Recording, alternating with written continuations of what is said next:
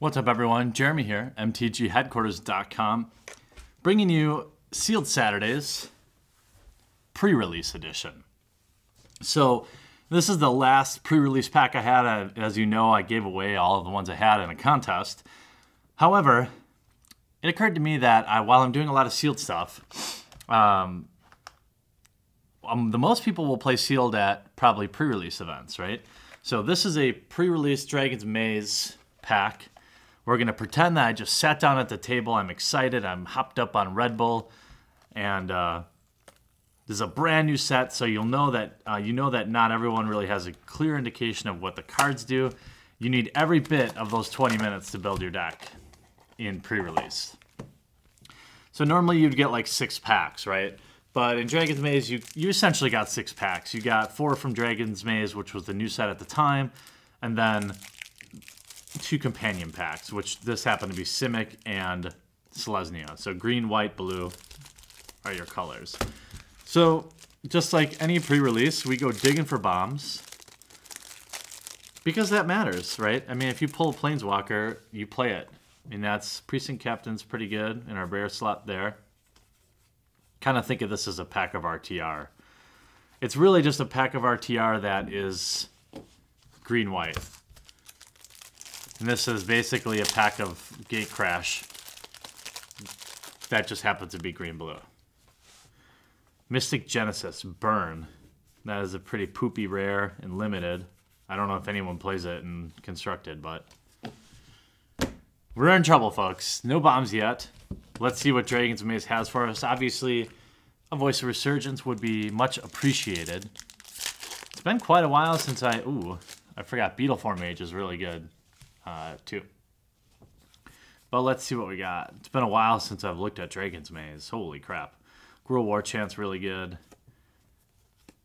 Vorel the Hull Clade. So if we were playing Simic, we've got the Simic card we want.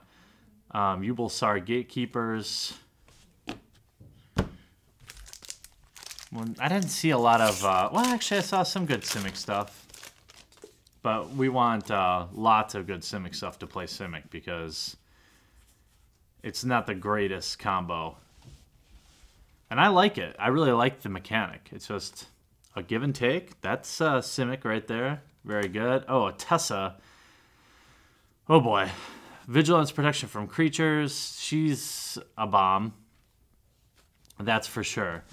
And in the Dragon's Maze uh, pre-release, with all these Guild Gates and Cluestones, you could easily play many, many colors. Another Beetleform Mage is very good in Limited. Blast of Genius, I hate that card. Catch and Releases are rare. So many Guild Gates, Batman. Boy, this pool is... Uh, maybe I'm just to play like uh, a ton of Beetleform Mages. Seems like I got one in every pack. Warleader's Helix is really good. And Breaking and Entering. Boy, okay. Well, we're going to color sort here. First, I'm going to uh, color sort by multicolored, then uh, we'll come back. All right, we're back. So, if you guys remember Dragon's Maze, I mean, really all the power lied in the two color cards. What do we have for fixing? We have a Selesnya Guildgate, two Simic Guildgates, a couple Orzhov, and a Rakdos. So, what I'm thinking is um, green, blue, either white or uh, black white. Orzhov Guildgate is not bad um, if I'm playing white and I want to splash for like Teysa or something like that. So in artifacts, I mean, we have a buttload of clue stones. So we have fixing that we need. Now I'm looking at, um, I'm really looking at here my support colors and then we'll get to multicolors. So in white, Precinct Captain's very good. Security Blockade, Avenging Arrow, Ethereal Armor. There's definitely some good white cards here. Uh, Haazda Snare Squad is really, really good in a, a white aggro build. Black Horn Horncaller's Chant, too expensive, although in, in limited, maybe. Seek the Horizon, maybe, if you're going to do some splashing. Towering Indrik is good. Adaptive Snapshot. So I, since I'm looking for Simic, because that's the way that this was supposed to be built. I keep an eye out on evolved cards. Ivy Lane Denizen's good. Experiment 1's very good.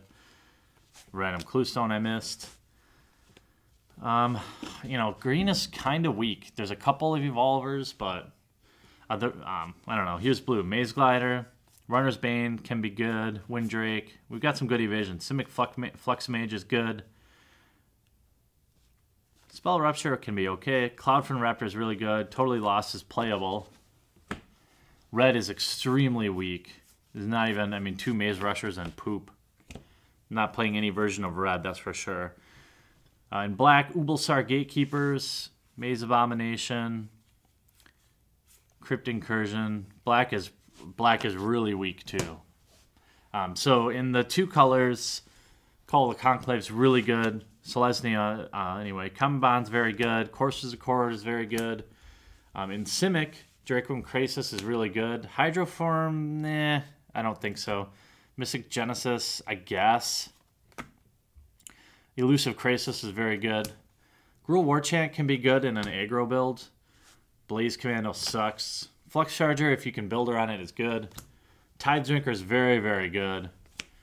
Um, Vorel um, is extremely good in the Simic build, and the fact that we got her, or him, him, kind of tells me that I'm going to play some version of Simic because I have enough Simic creatures.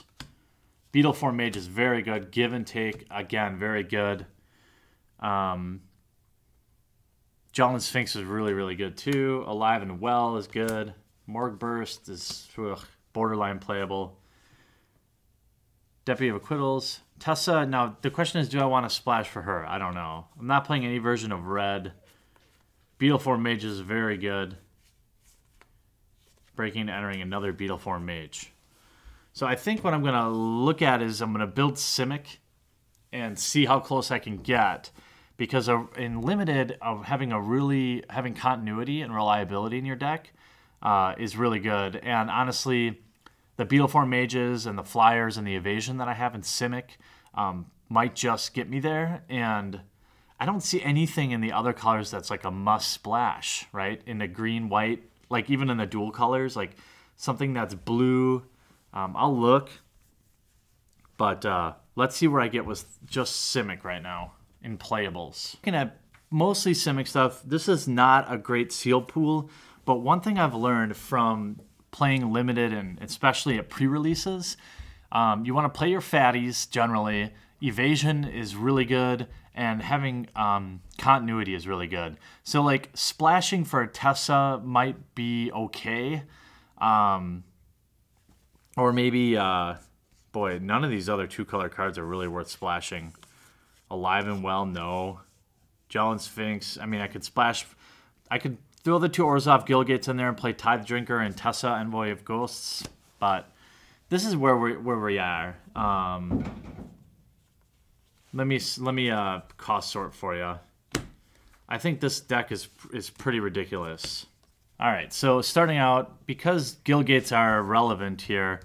Um, we don't really have enough of them to trigger the gatekeepers with any reliability, but uh, I have gatekeepers in this deck to simply evolve, really. And then if I hit on the if I hit on the gate, that's fine. And maybe I get greedy and do this,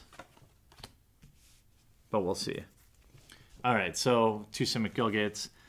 Um, those don't really count. So we have Experiment One and Cloudfin Raptor, which are two extremely hard to deal with one drops. Spell Rupture to keep him off the board. Runner's Bane.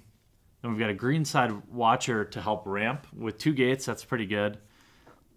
Simic Fluxmage, is probably the weakest of the evolving creatures I have. However, it does evolve. It does play off with um, Ivy Lane, Ivy Lane Denizen, which is really good in this deck. Windrake, flat out evasion. Same thing with Drake Drakewing Krasis. Elusive Krasis is unblockable. Usually, usually you can get it to like a, a 3-5 pretty reliably. Um, and then you've got Vorel here, which is a basically a win, a win condition. Because for two mana, you can double the number of counters on anything. So you can double the counters on your unblockables, you can double the counters on your flyers, anything with Evolve, right? Uh, Beetle Form Mage is extremely difficult to deal with in the early game because it comes out on turn three, and turn four you can be swinging with a four-four flyer, or turn you know five six you might have a couple of these out, and you pump them and you're swinging with three or four four-four flyers. So I playing three of them. Give and take is extremely good in this deck. Obviously, uh, one maybe I want to put tokens on something that isn't doesn't have evolve so that I can double them down with Vorel. And maybe I want to put them on Vorel. Um, so it's just good. Another couple Beetle form mages. So really gatekeepers, again, I'm open to basically pulling out both gatekeepers in this deck, dropping in two Orzhov Guildgates and trying to play Teysa, because she's that good. Ivy Lane Denizen, Towering Indrik, another gatekeeper is totally lost as pseudo removal. Adaptive Snapshot in draft is just not that good, um, but it does basically evolve everything when it hits the field, and maybe you throw a give and take on it so that it's a six five. Um, it, it it does evolve fairly very easily, but it's still totally exposed and doesn't have trample or anything, but it's still that good. Um, Maze Glider is extremely good given the number of two color cards we have in here because multicolored creatures get flying. Maze Behemoth is good because it's trample and you can use give and take to make it really good. It also evolves most everything. How many cards do we have here? 1, 2, 3, 4, 5, 6, 7, 8, 9, 10. 1, 2, 3, 4, 5, 6, 7, 8, 9, 10. 1, 2. We have room for one more. Um, and maybe I throw in. Uh, boy, it's kind of hard to say. The pool is really bad. I guess I'll throw the Mystic Genesis in there. Uh, again, I'm throwing out the possibility of because you've got um, because I've got the gatekeeper, which can untap gates. You might be able to say instead of playing the Mystic Genesis, you could be really greedy, okay? and play Seek the Horizon, two Orzhov Guildgates, and a Teysa. And then you could um, cut something here. Now that you put those two additional Guildgates, you don't really want to cut the Gatekeepers because they're that much better. I mean, maybe... Eh. I mean, you could go... I guess in the limited, in a pre-release event, I, I might be tempted to do this because it's like a turn seven win, right? If they can't deal with it immediately. Plus, you put two extra Guildgates in, so now your gatekeepers, one of them gains you seven life, and the other one draws you two cards. Maybe I cut one Beetle Form Mage. I just go completely greed, play Teysa. And then you have Seek the Horizon to pull out your swamps and forests if you need them. Swamps and plains, I mean. Actually, then you could play the Selesnya Guildgate too. Yeah, I probably would do this. I probably would. Um, you could throw a clue stone or two in if you if you really had to. This would be the build I would rock. Simic splash for Teysa. All right. Well, that's what I would do with my Dragon's Maze uh, pre-release event deck. I pr that's probably not a win at all type deck, but it's going to be competitive. I mean, if you get the Cloudfin Raptor out there early or the experiment one, and you have basically turn two, turn three, turn four things that evolve it, uh, you're probably going to win the game. If you get your Cloudfin Raptor out in turn five, it doesn't matter as much, right? But if you get turn one Cloudfin or experiment one, obviously Cloudfin Raptor turn one, turn two experiment one, turn three double evolve is really, really good too. Um, there's enough good stuff going on in this deck to be competitive. I hope you enjoyed this deck building this little bit of fun blast from the past Dragon Maze and you know pre-release ideas. If you did, please uh, take a moment to crush the thumbs up button below the video. And also, if you're new to the channel, make sure you subscribe. I'd love to know you and hear from you in the comment section down below. I'm Jeremy, and we'll talk to you again real soon. I really hope you enjoyed this video. Check out some of our most popular playlists, everything from MTG vlogs gameplay video, new product breaks, and some insane vintage openings. And if you haven't yet, here's your opportunity to crush that subscribe button to join the fastest growing Magic the Gathering channel on YouTube. Thanks again, and we'll see you real soon.